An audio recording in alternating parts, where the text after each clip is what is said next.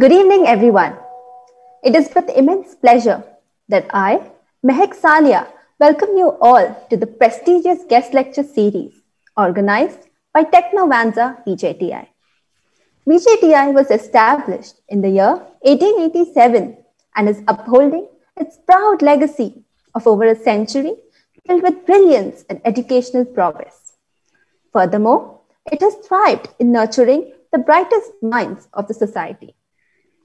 Taking technology to society has always been the aim of Technovanza.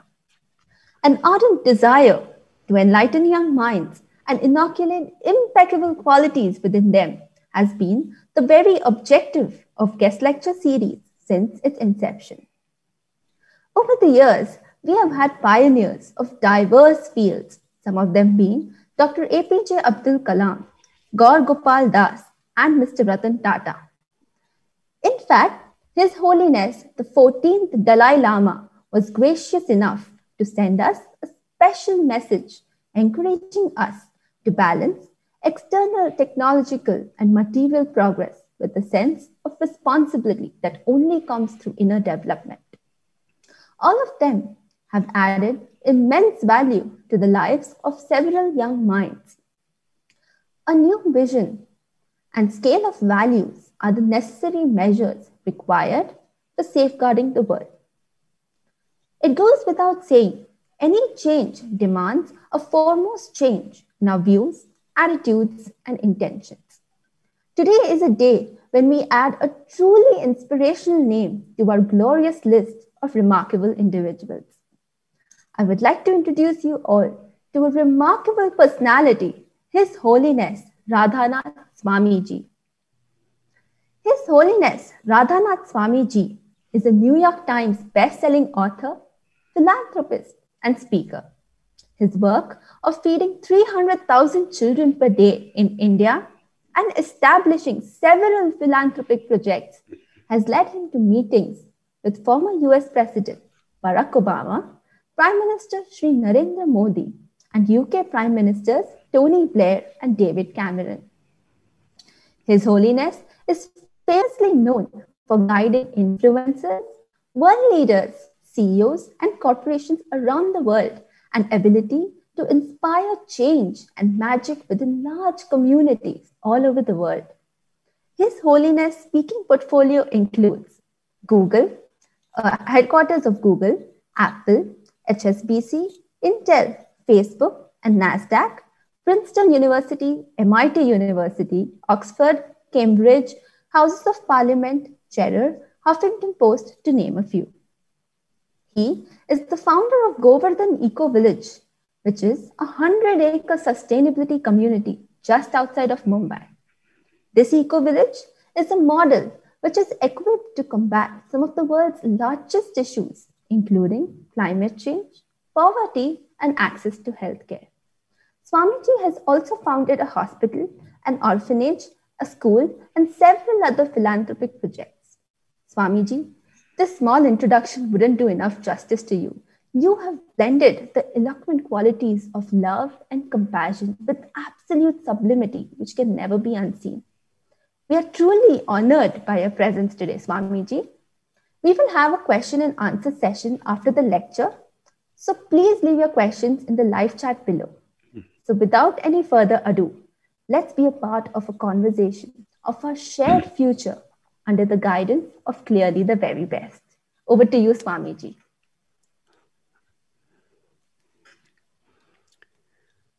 Om Timidandasya Gyananjana Chalakaya Chakshurun Militam Yena तस्मै श्रीगुरवे नमः।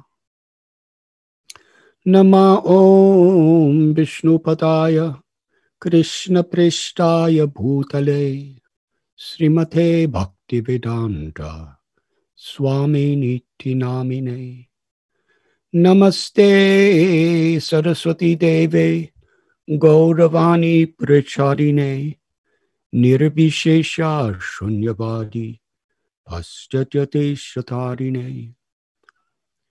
श्रीकृष्ण चैतन्य प्रभु नित्यानंद श्री अद्वैत गदाधर शिवासि हरे कृष्ण हरे Krishna Krishna Krishna, Hari Hari.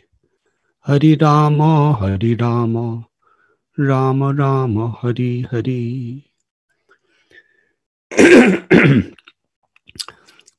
I am sincerely grateful and honored and very happy to be with all of you today.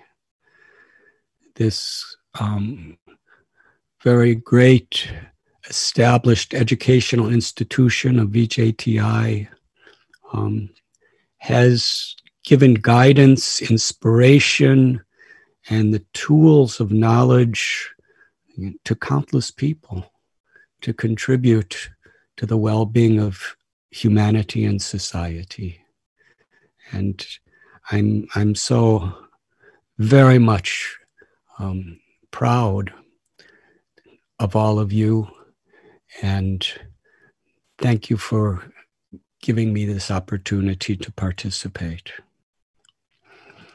At this particular time, during the coronavirus, COVID 19, there's a lot of anxiety, there's growing depression, there's fears. In the economic situation, there has been quite historical challenges for our generation. And how how are we to actually grow through these conditions? This is the subject that i was asked to speak on. Human nature is that when there is crisis when there is provoking challenges that are apparently beyond our control, it's a time where we can actually become great. My beloved Guru Srila Prabhupada, he wrote that true greatness is to be tested in provoking situations. And we see the great people of the world how crisis helped to make them great and give a legacy that even generations after them, people are inspired and take direction from. Um, in fact, I believe that this college, this university, is named after the, the wife of Chhatrapati Shivaji. Um, Shivaji did not live in a very peaceful, congenial time. It was a time of urgency. It was a time of great need. And it was that urgency that actually um, awakened within him courage, creativity, and incredible efforts for for for the society around him and the people and it was how he stood in that provoking crisis that made him great and that magnified his greatness for us today. Um, technology, science are sacred tools when they are in the hands of people with values. Um, technology itself and science has developed so much in times of crisis. I'm just now remembering when I was a young boy growing up in America. In the 1950s, there was what we call the Cold War between the Soviet Union and the United States. And there was a lot of fear in America because um, both Russia, the Soviet Union, and America had nuclear bombs. And there was this arms race, and it seemed almost imminent that there could be a world war at any moment. It was at that time when, when America was really feeling they were a superior power that Russia put the first satellite into outer space. Was named Sputnik. That Sputnik created a wave of fear in America. It was a testimony that an arch enemy was actually superior to us in science and technology. At that time, the US government put huge resources and finances into the universities and colleges to develop science and technology and provided scholarships for students who wanted to dedicate their lives to that. It was an urgent crisis that appeared that our the safety of our nation depended on it. And so much in the field of science and technology expanded due to that crisis. Um, the greatness of Gandhi is very much how he responded to the crisis that he faced in his life, as was Nelson Mandela and Martin Luther King. So that potential of greatness is actually within all of us, where we are given a choice to make the decision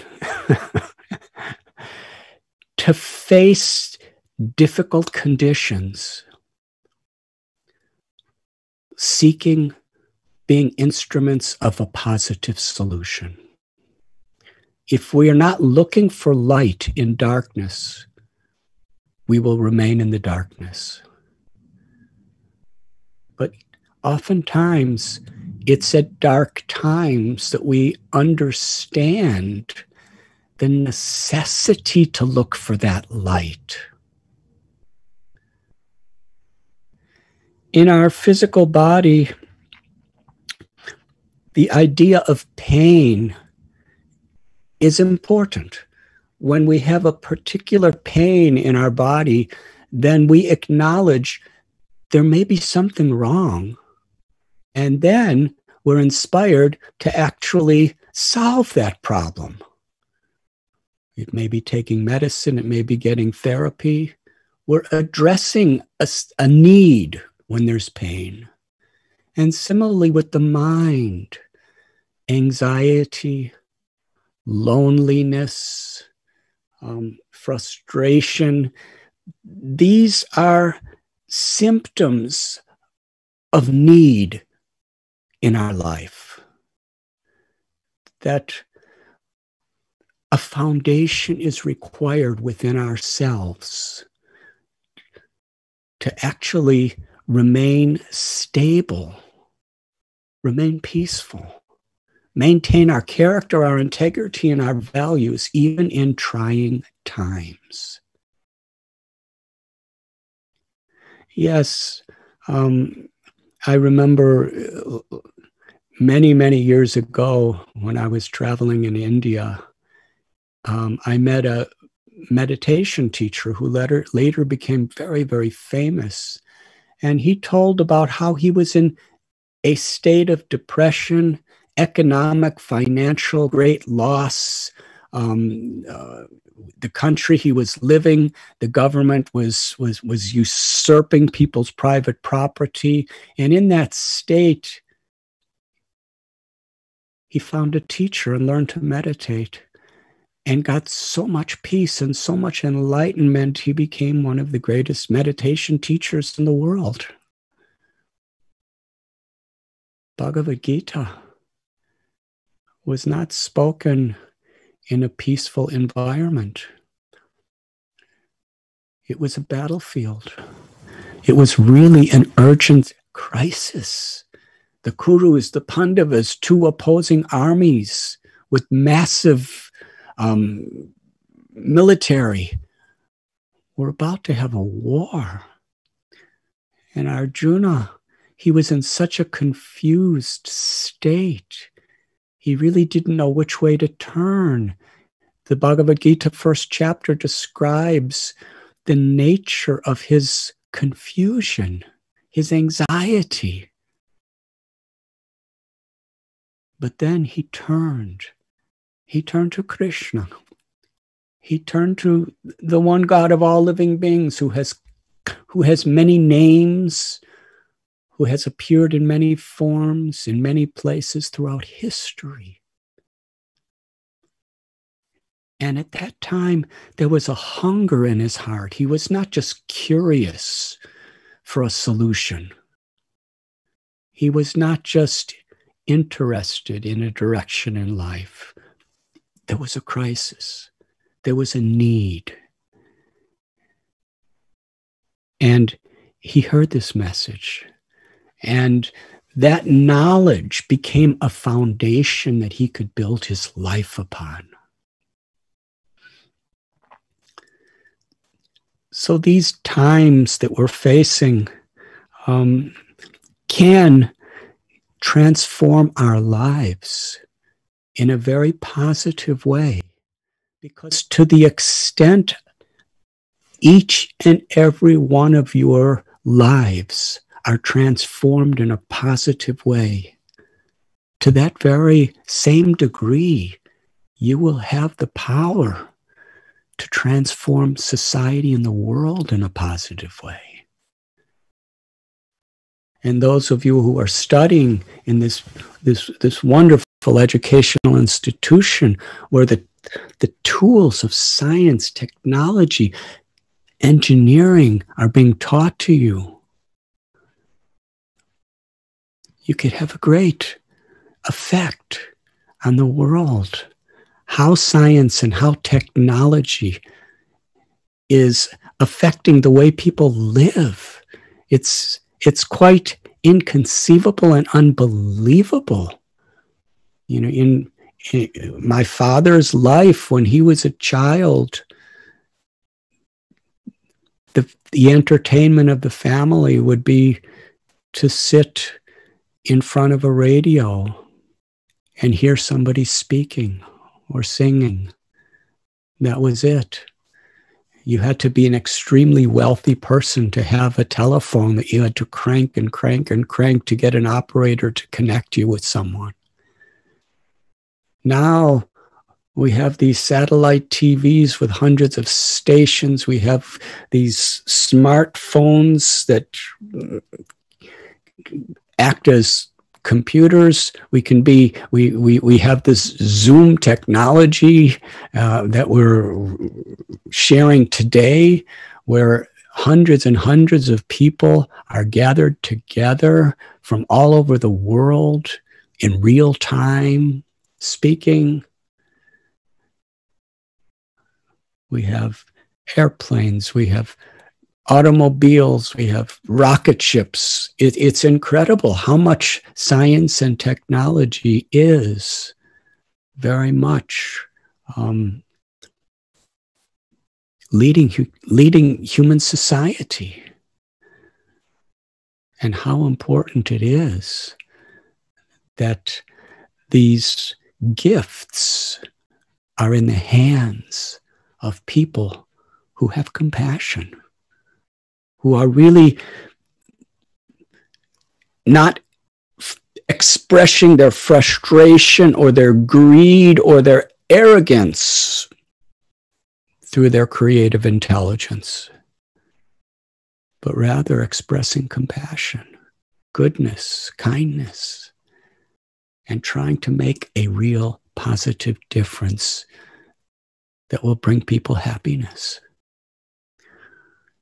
Um, my teacher, he once said that the whole Vedic civilization, it has one purpose. Sarve Sukhino Bhavantu. Let all beings be happy. In giving people happiness, our hearts find happiness. And to the degree our hearts find happiness, we can give people more happiness. Whatever our particular occupation may be, we may be engineers, we may be doctors, we may be lawyers, we may be politicians, we may be professors, students, farmers, mothers, fathers, business, whatever it may be, the greatness of our life is in how we're actually making a positive difference within the world around us. People may envy you for what you have, but no one will love you for what you have. People love you for who you are and the values that you represent. And the heart seeks love. Things, things like fame and wealth and property and power, these things can give some degree of satisfaction to the physical senses and to the mind, but they cannot touch the heart. The heart only wants two things to love and to be loved.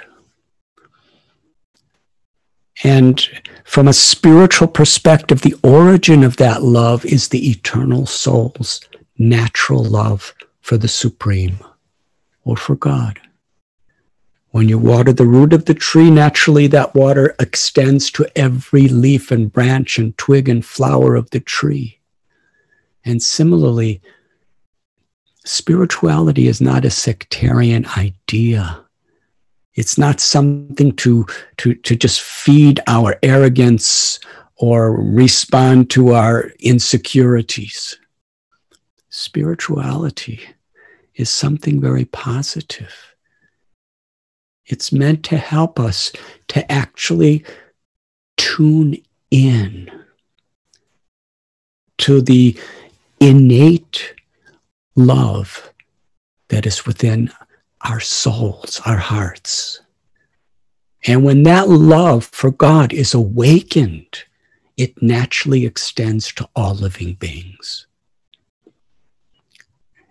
On that battlefield of Kurukshetra, Krishna gave about 700 verses to Arjuna, and one of them has always really struck my mind. Vidyavanaya Sampane Brahmani Gabihastini Suni Chaiva Swapake Cha Pandita Samadarshana. Real knowledge, true enlightened wisdom is not just about how much data we have stored in our brain. It's not in how many um, verses we memorize or how many sciences and technologies we have mastered. Real knowledge is the capacity to see every living being with equal vision. Whether one is black or white or red or yellow or brown, whether one is male or female, from the east or the west, whether one is a Hindu or a Muslim or a Jain or a Sikh or a Parsi or a Christian or a Jew or a Buddhist or a Baha'i or an agnostic or an atheist. The Gita even extends it to whether one's a human or a dog or a cat or an elephant or a cow. Life is sacred. when we appreciate this truth that life is sacred, life is an extension of the divine. When we actually come in tune with the nature of our own spiritual consciousness, God consciousness, or we call Krishna consciousness, then we're tuned into the divinity, the sacredness of all life. And we deal with situations according to what's required, but it's not with envy, it's not with hate, it's with real compassion. That's the greatest need in the world. That's the greatest need to be developed within the hearts and the minds of people of all walks of life, including scientists and engineers and technologists. Because then, with the great tools that we have, we could really do something wonderful, and that will give meaning and fulfillment to our hearts. I remember years ago, I was sitting on the banks of the river Ganges, a Ganga, and I happened to see a hawk, a very large bird soaring in the sky. He was looking down. It was the summertime, and I was all alone in the banks of, this, of the Ganga.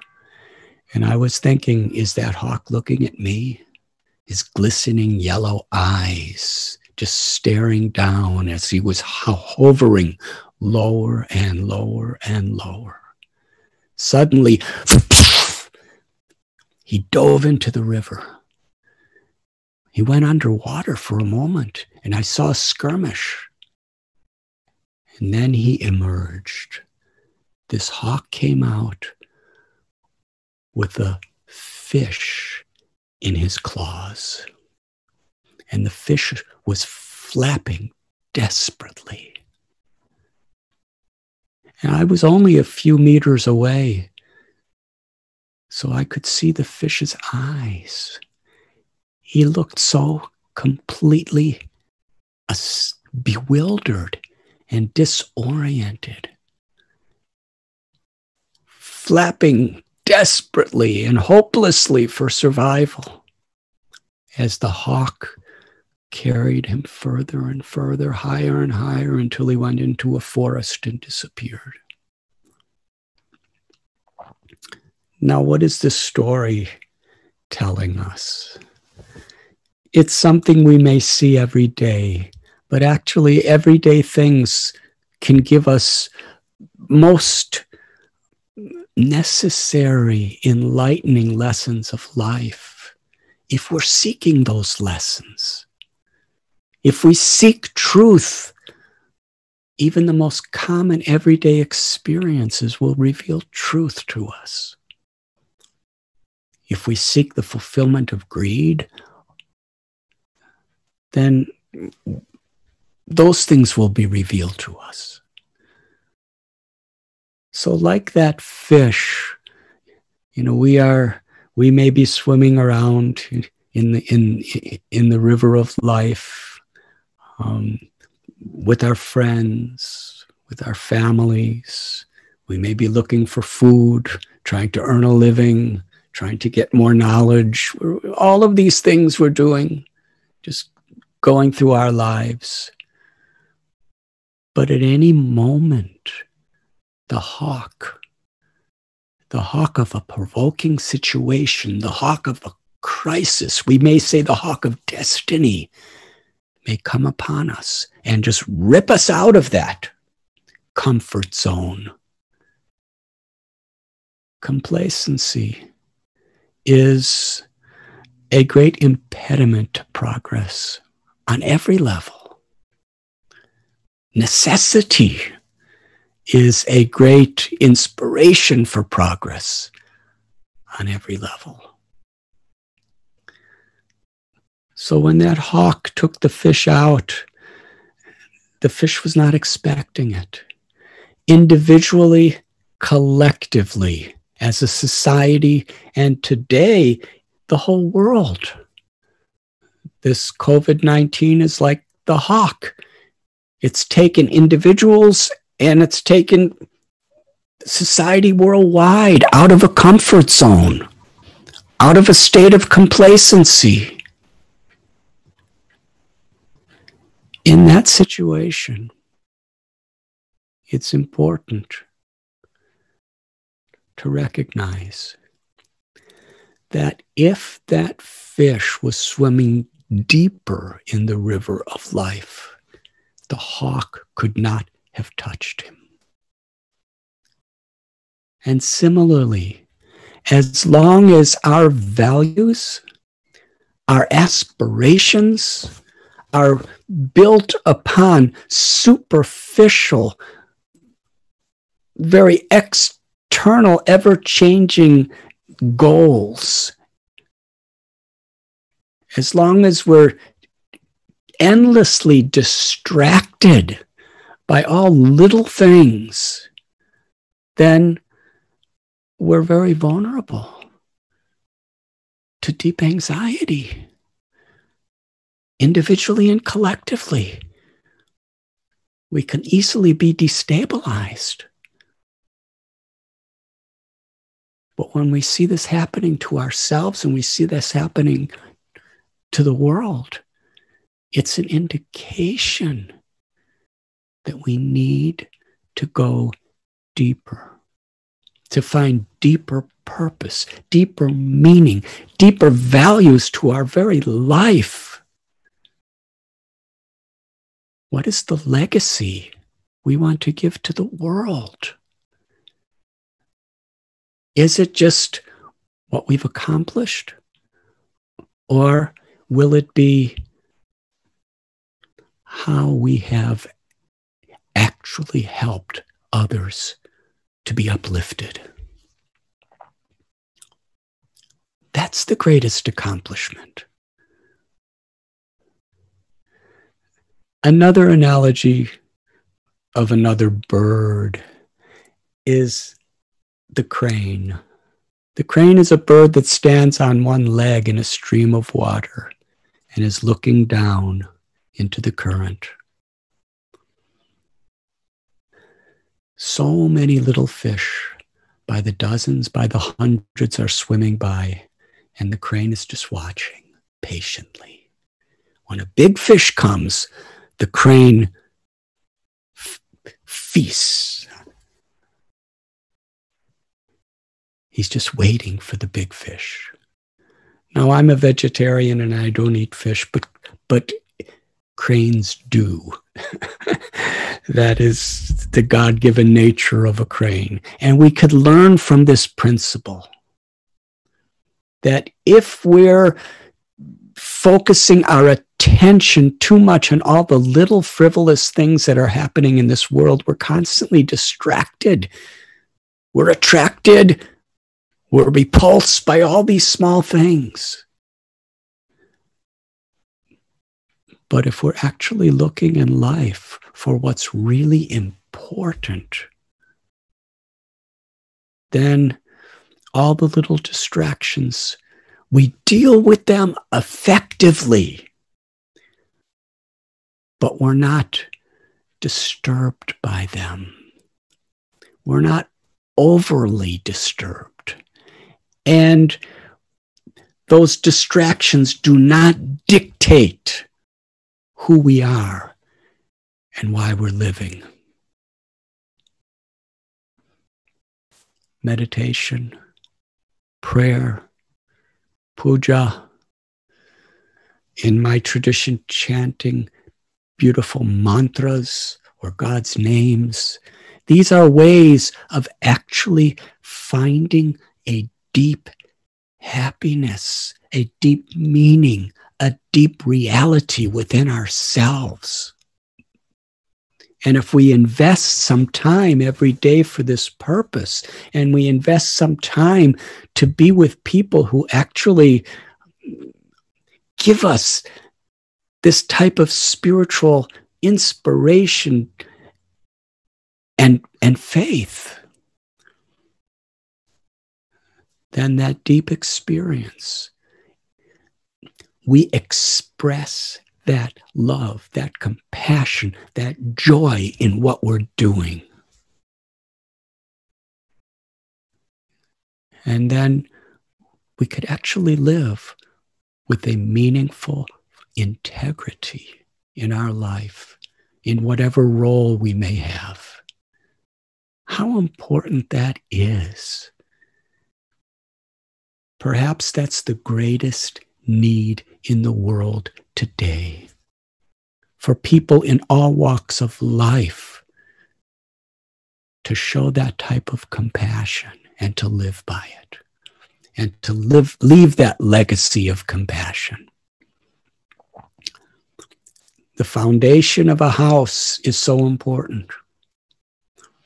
If you build a house, however beautiful it may be, it may be a little hut made out of straw and simple bamboo, or it may be a magnificent palace of, of marble and onyx with beautiful furniture. It may be a, a multi level skyscraper. But most important is the integrity of the foundation. Because if you build whatever structure it is on, on sand, it will look beautiful. It will feel beautiful and comfortable. But when a storm comes, it will collapse. But if it's built on a strong foundation, whether it's a sunny, clear day or whether it's a massive storm, it will stand.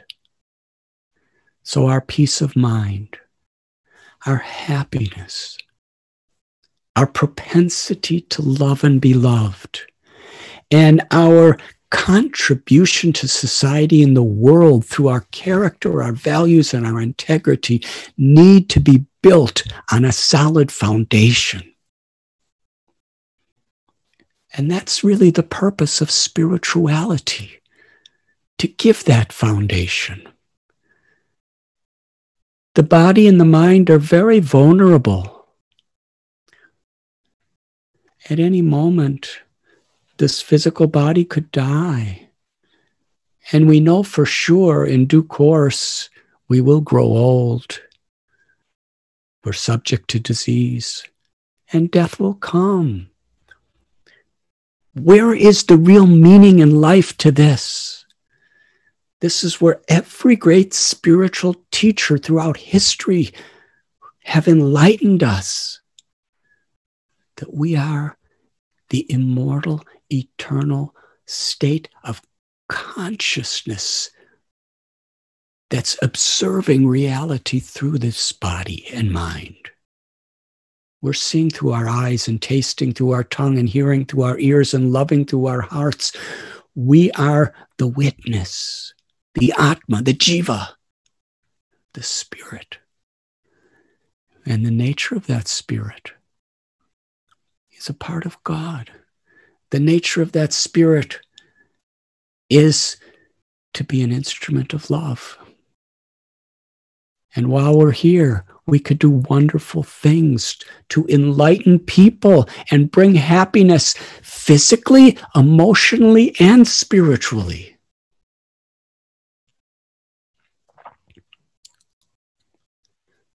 That is our opportunity.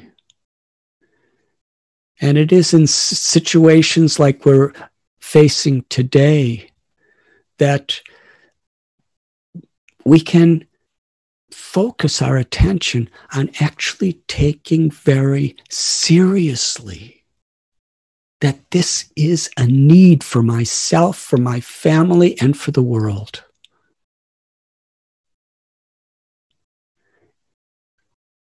At times of problems, when we see positive opportunities for change, which begins with change of myself. Gandhi said, Be the change you want to see in the world. We hear it. We hear the Gita.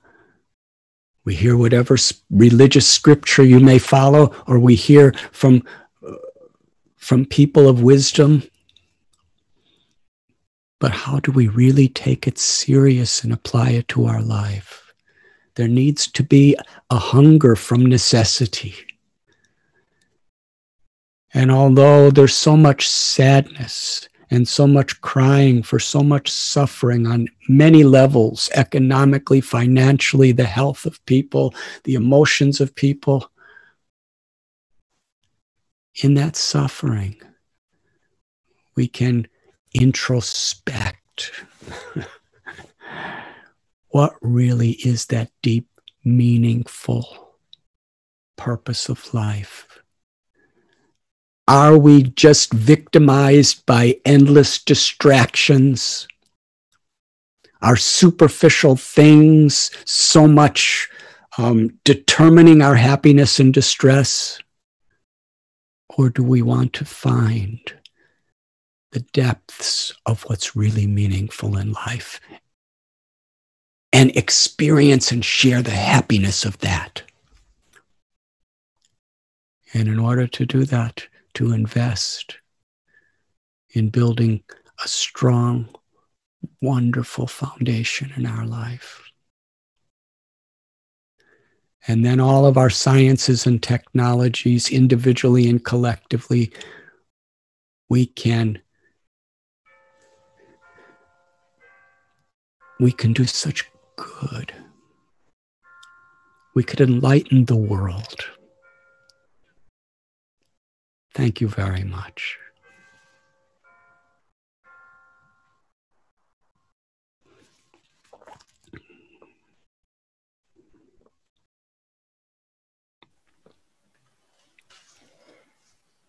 Swamiji, so now we have a couple of questions for you.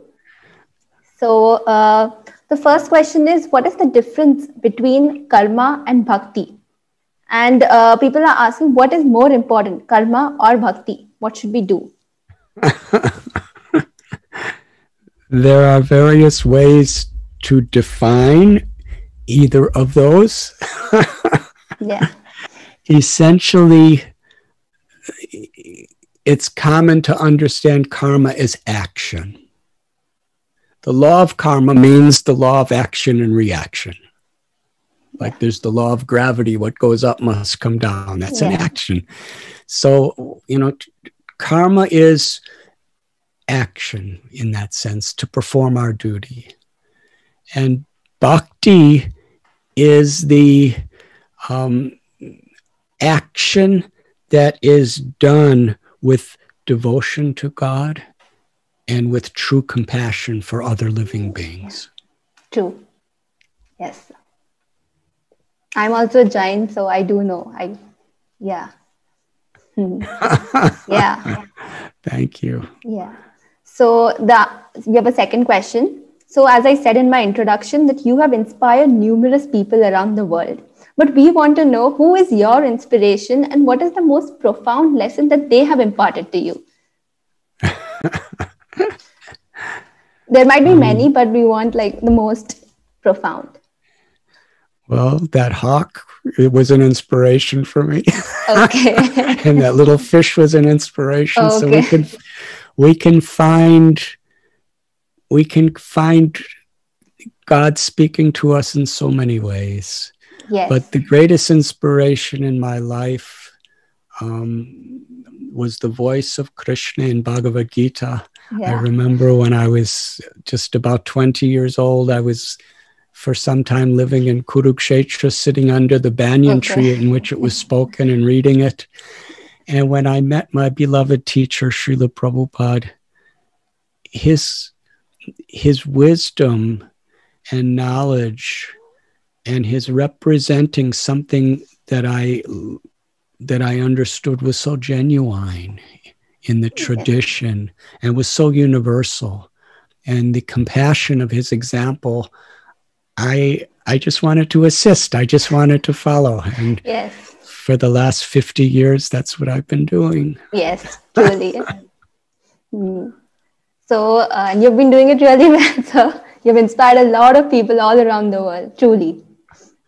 Then I, I'm honored by your kind words, and please pray for me that I can try to live up to your expectations. Absolutely. so, we have one more question. So, in such difficult times, how do we find hope? And we're asking this as youngsters, as students. How do we find hope in such tough times? We're not able to go to college. it's it's really sad situation. Um, in the Bible, there's a beautiful quotation: "Seek, and you will find." So we have to look for hope. Yes, true, true. if, if we sincerely look for hope, then we will find hope. Yes. um, we can't give up.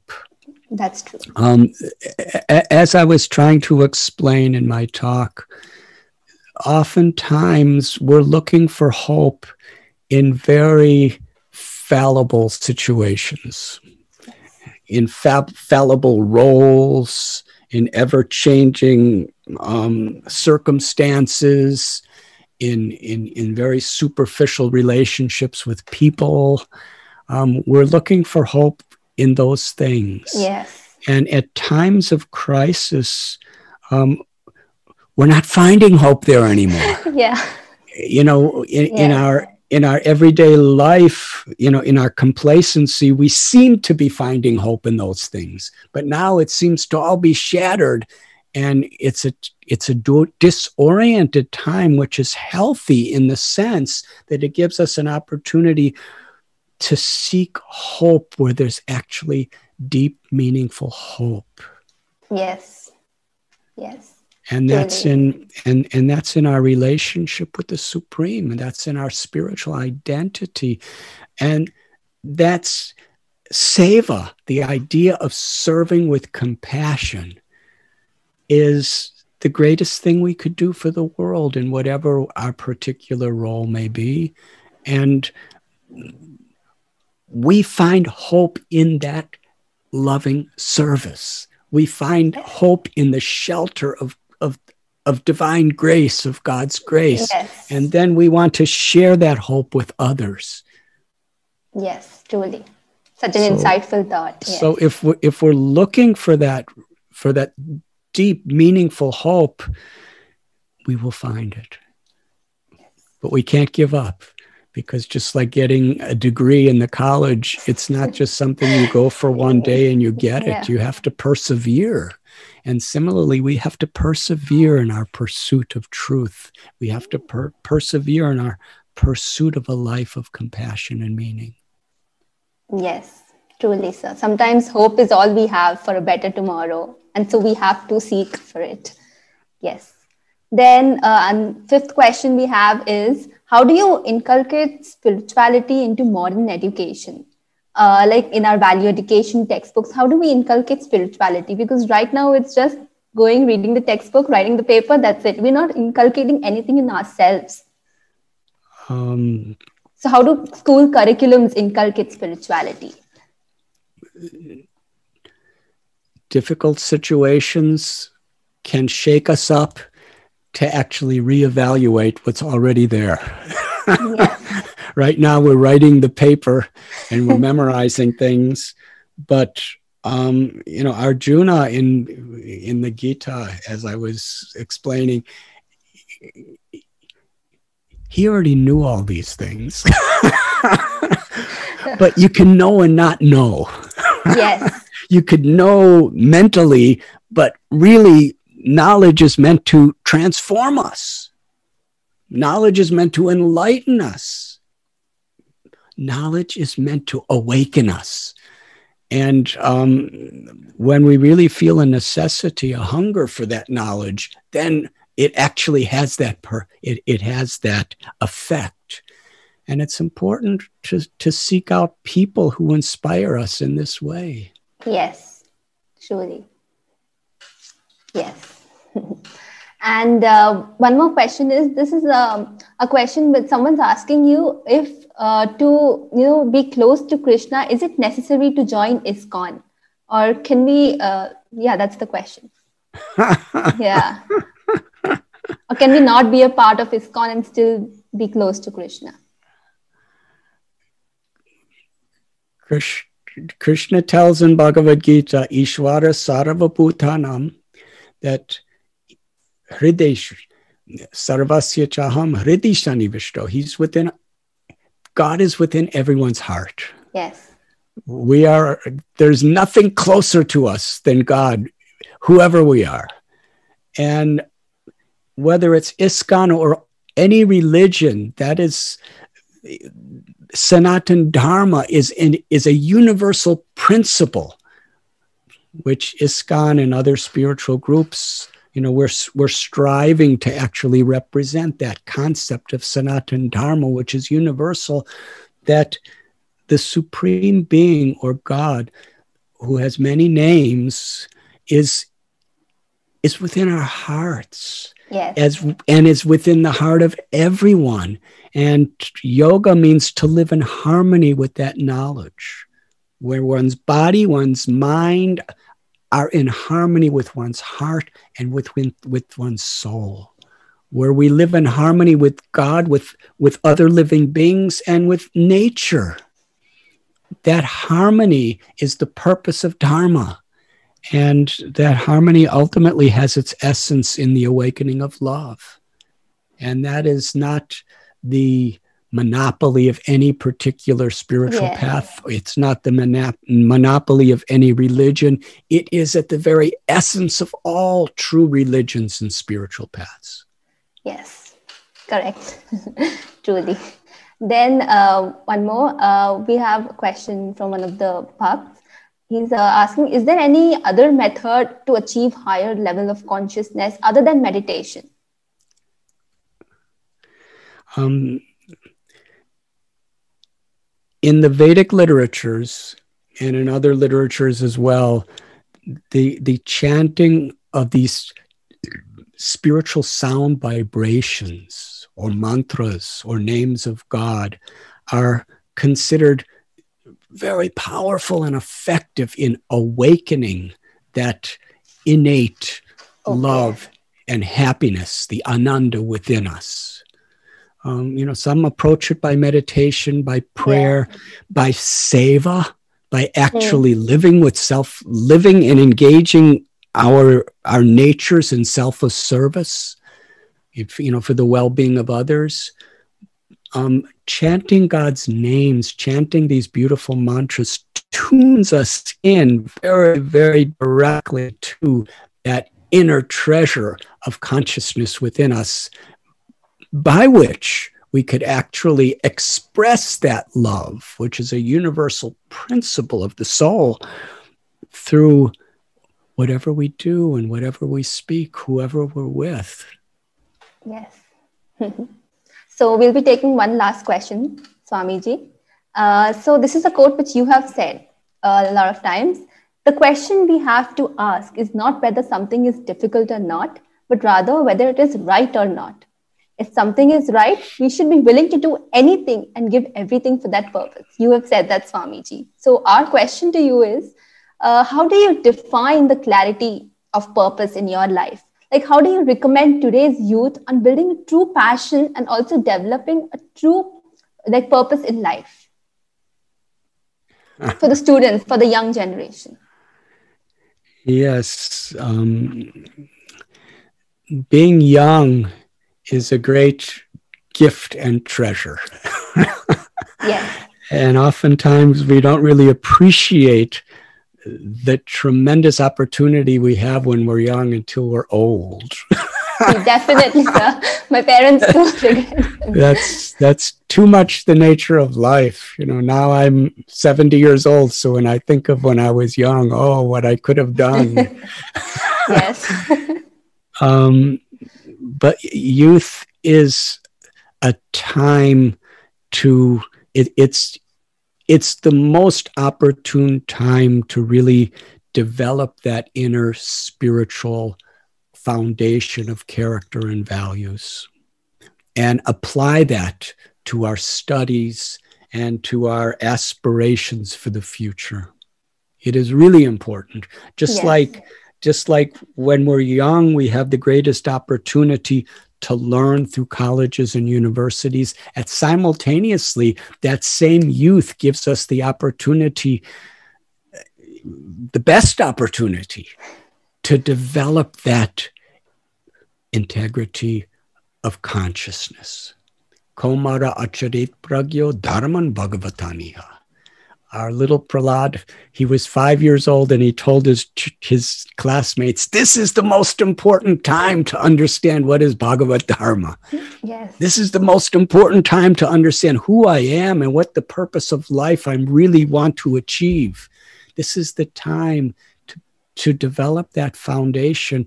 And then through our through our education, through our careers, through our families, through our influence, we could build something beautiful on a foundation of truth, enlightenment, and compassion and love. And eh, we need to associate with people who who want that yes. as much as possible.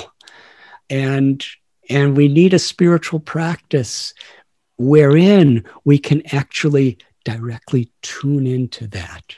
And then throughout the day, it's just like we eat and we sleep, and we get strength by doing that. If we just try to do our studies or work and we think, well, I don't have time to eat and sleep, then we really won't have much quality.